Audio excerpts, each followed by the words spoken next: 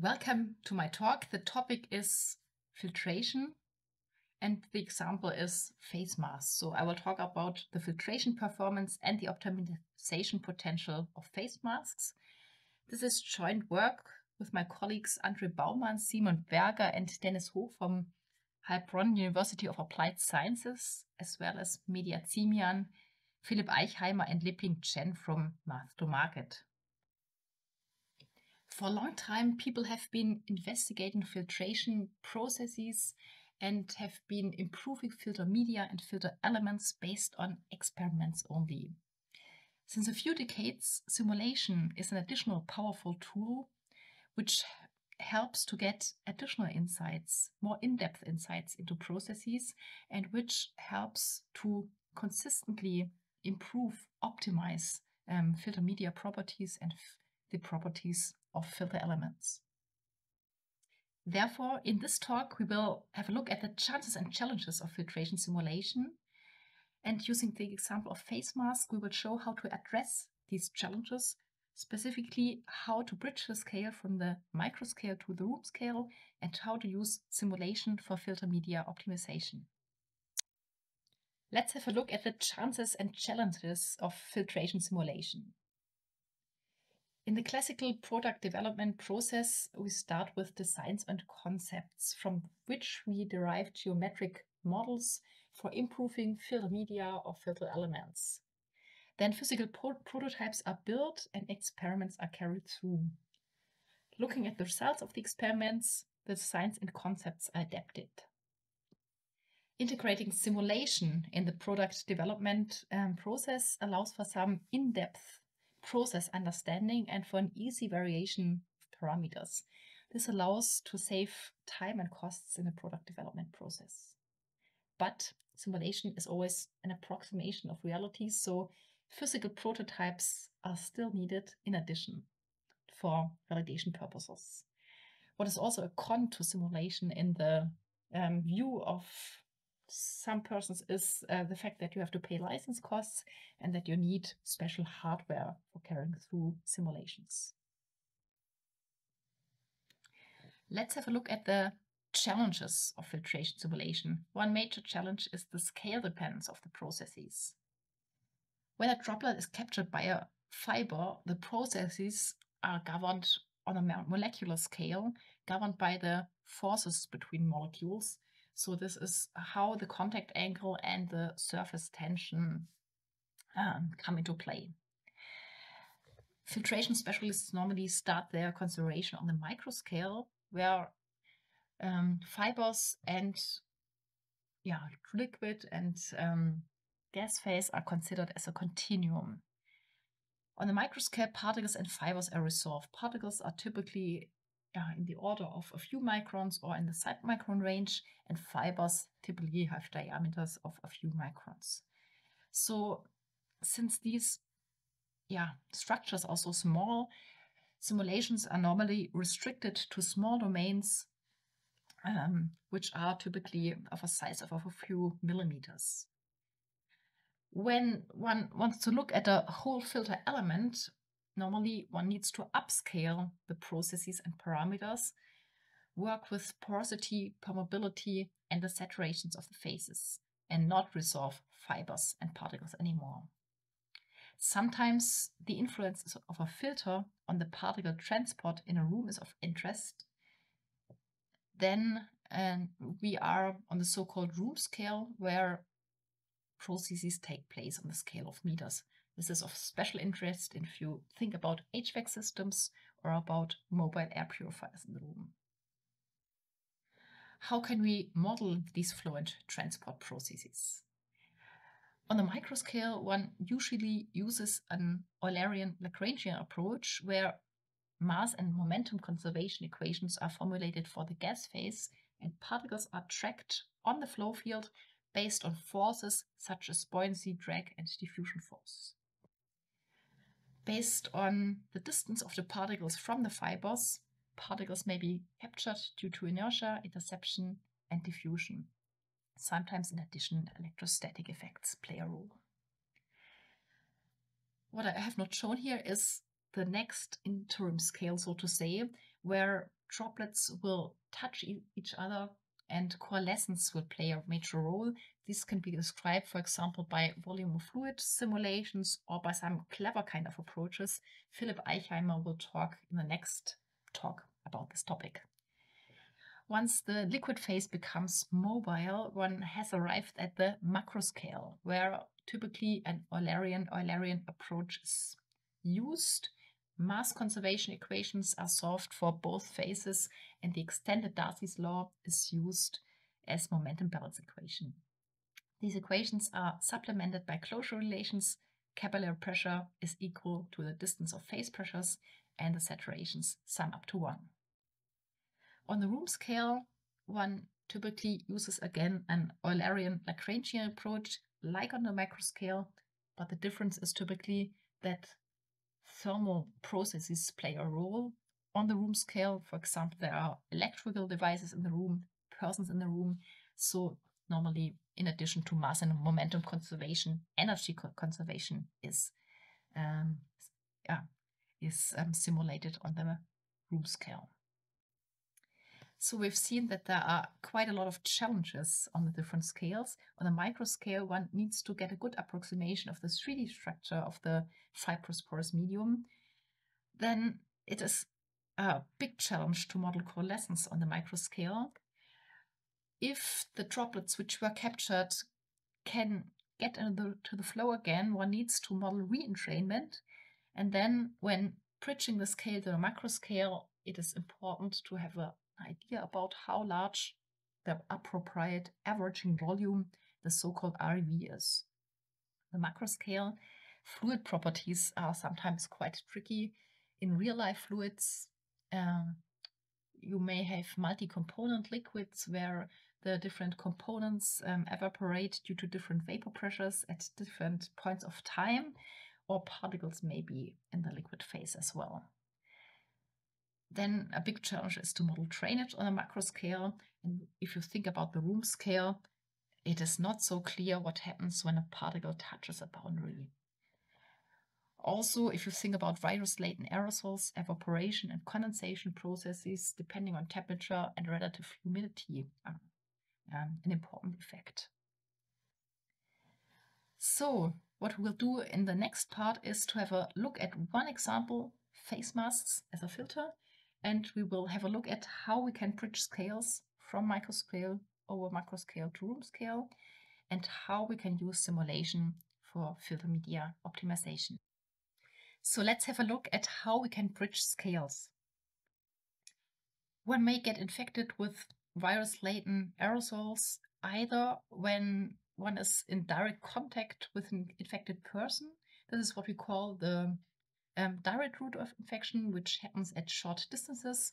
But on the other hand, infections may also occur indirectly in indoor environments where the aerosol particle concentration increases over time depending on, for example, the room volume and the activity of the person. Masks help both when worn by the infected person and by the potential host, and they help both against the direct route and the indirect route of infection. In the frame of a BMBF funded project, we my colleague Simon Berger has designed and built a mask test bench, which we use for validation purposes, where air containing aerosol particles is sucked through the test bench using a ventilator. Um, aerosols are generated using the Palas um, PRG 2000. And yeah, the particle size spectrum is measured upstream and downstream of our measurement box using the Promo 3000 with the matching VELA sensors.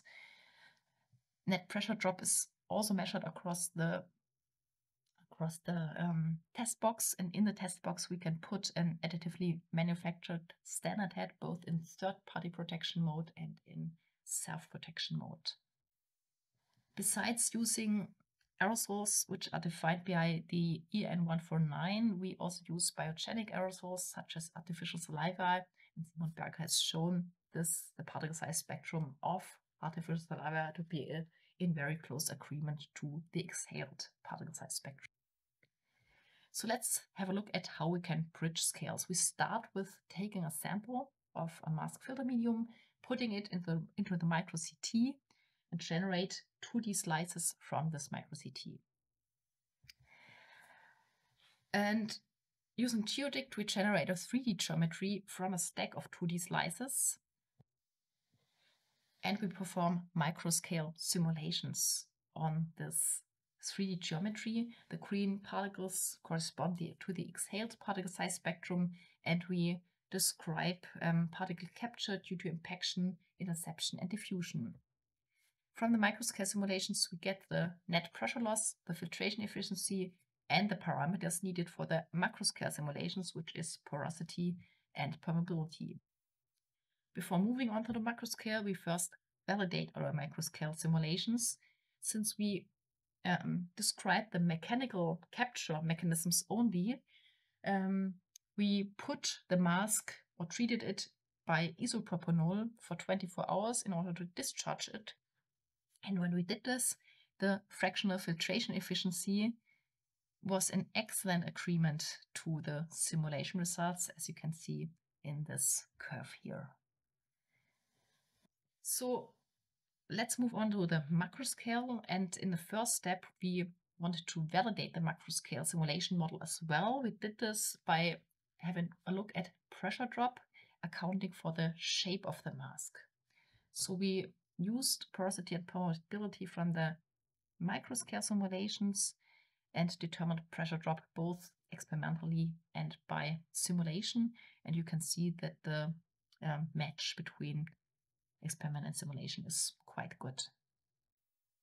So we were confident to move on to the room scale where we were interested in where the particles would move to in the room and what the fate of the particle is. So we used fractional filtration efficiency, porosity and permeability determined in the microscale simulations.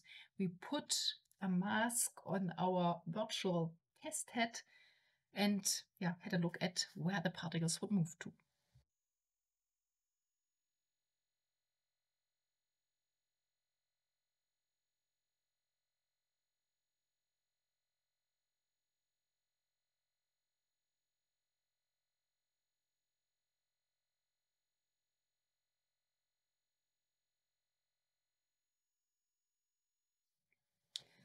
So we looked at a person standing in a room, a person breathing, speaking, or coughing, and a pe person wearing a mask and not wearing a mask. And we were interested in whether the particles would more go to the front of the person, behind the person, or to the side.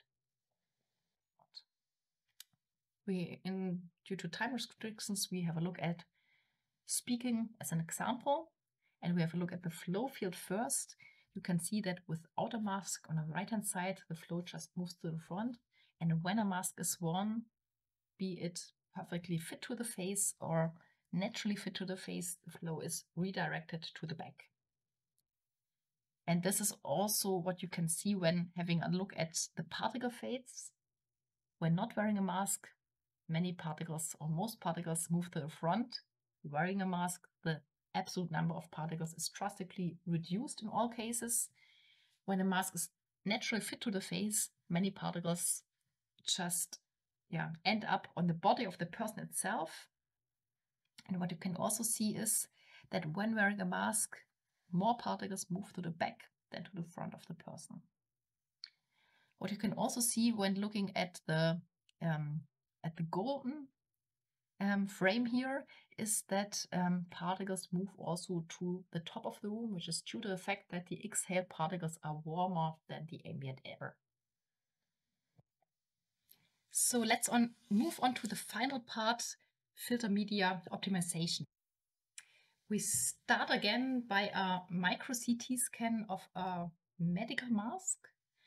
And um, Another input is a measured particle size spectrum at our test bench, which corresponds to DEHS.